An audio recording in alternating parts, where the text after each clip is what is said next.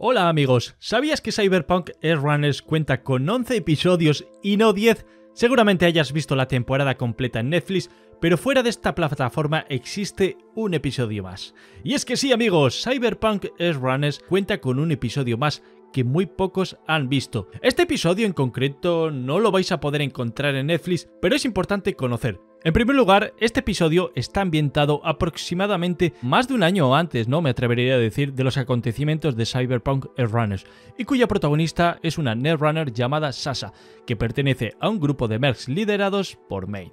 Sí, en este fotograma vemos como aún no está ni Pilar, Kiwi o la misma Lucy, la última integrante de este variopinto grupo que llegó meses antes de David Martínez y apreciamos como Sasa se despide en ese momento y se embarca en una misión bastante secreta, la cual consiste en infiltrarse en la sede de biotécnica con un único fin, hackear la corporación y robar unos datos. Por si no lo sabéis, Biotécnica es una de las grandes megacorporaciones que si bien es cierto no hace mucho acto de presencia dentro de la historia de Cyberpunk 2077, es una de las más grandes dentro del lore y aparece en muchos textos, conversaciones secundarias y paneles de publicidad de la ciudad. Es más, Biotécnica es uno de los principales culpables de ese conflicto entre Panam y Saúl que divide mucho a los aldecaldos ya que quieren vender parte de sus tierras a esta megacorporación. Se trata de una corporación especializada en la ingeniería genética, investigación biológica y también, sobre todo, farmacéutica, con la cual amasa grandes fortunas, pero sin duda alguna su producto estrella es el Choutu, el biocombustible que usan todos los vehículos de Cyberpunk 2077.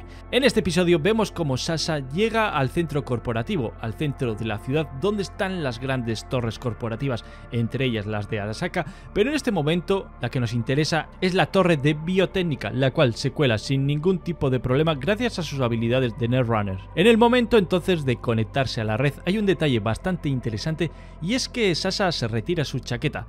¿Pero por qué haría eso? Es un buen detalle que podía pasar por alto incluso para los animadores de este vídeo, ya que todos los Netrunners sobrecalientan su cuerpo al conectarse a la red y decidir quitarse esa chaqueta aligerará un poco esa sensación. Es un detalle que yo lo vi y me llamó bastante la atención y dije, ole, chapó ese pequeño detalle, pero tan importante dentro de Cyberpunk 2077.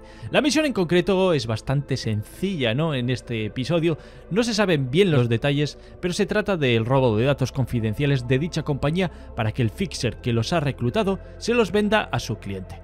Pero aquí ya es cuando S-Runners ataca nuestro corazón, nos invade de sentimientos y nos hace sentir pena por un personaje que acabamos de conocer hace literalmente dos minutos y que no ha pronunciado ni una sola palabra. Algo mágico y a la vez aterrador que ha conseguido esta serie. A Sasa le invaden un montón de recuerdos, como vemos, tristes de cómo su madre fue perdiendo la vida por un producto, por una medicina creada por Biotécnica, el cual salió al mercado y continúa ahora mismo todavía al mercado y que tiene unos efectos secundarios desgarradores, por lo que en vez de escapar una vez finalizada su misión, decide robar esos documentos para subirlos a la red y enviárselos a News 54. No la culpo, creo que la rabia e impotencia de no haber actuado como ella quiso en los momentos cuando era pequeña y estaba sola, hacen que ahora mismo quiera arriesgar su vida para clamar venganza y que otros tampoco sufran el destino que sufrió su madre. Pero como bien sabéis, a las corpos poco le importan las personas y disparan sin siquiera preguntar, por lo que en ese protocolo de defensa, Sasa es atacada por cuerpos de seguridad del edificio sin refuerzos, ya que recordemos que se trataba de una misión fácil de entrada y salida. Ni Main ni ninguno de su equipo sabía que tendría un enfrentamiento directo. Con una pistola Unity modelo rosa y un ciberequipo único de esta animación, el cual se asemeja mucho a las garras de un gato, ¿no? Vemos cómo gana tiempo para subir los archivos confidenciales a News 54 y que estos se interesen en una exclusiva a tal punto que decidan publicarla. Yo honestamente en el juego no he encontrado signos o indicios que haya existido este producto o algún easter egg que nombre esta pequeña historia. Si alguno de vosotros lo ha visto, ¿vale? En algún pincho o diferentes informaciones que te encuentras escondidas por el juego, pues dejadlo saber en los comentarios. Pero como os digo, yo no he encontrado nada de nada. Estaría muy bien que hubiera una pequeña referencia a este episodio.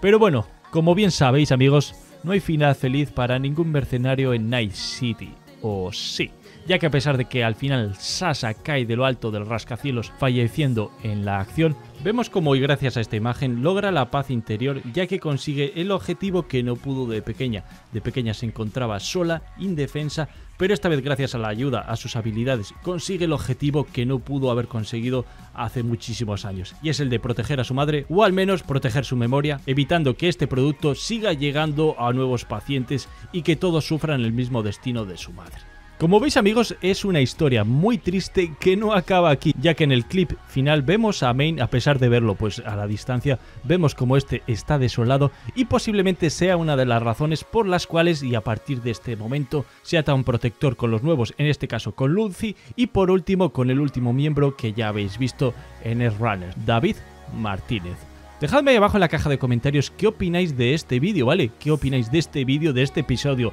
número 11, o al menos, o diríamos no, cero de Cyberpunk Runners, ya que a pesar de que dura esos 4 minutos, ofrece un montón de sentimientos y una verdadera historia, e incluso un personaje con un diseño espléndido y que se le ha cogido mucho cariño. Un saludo amigos y hasta luego.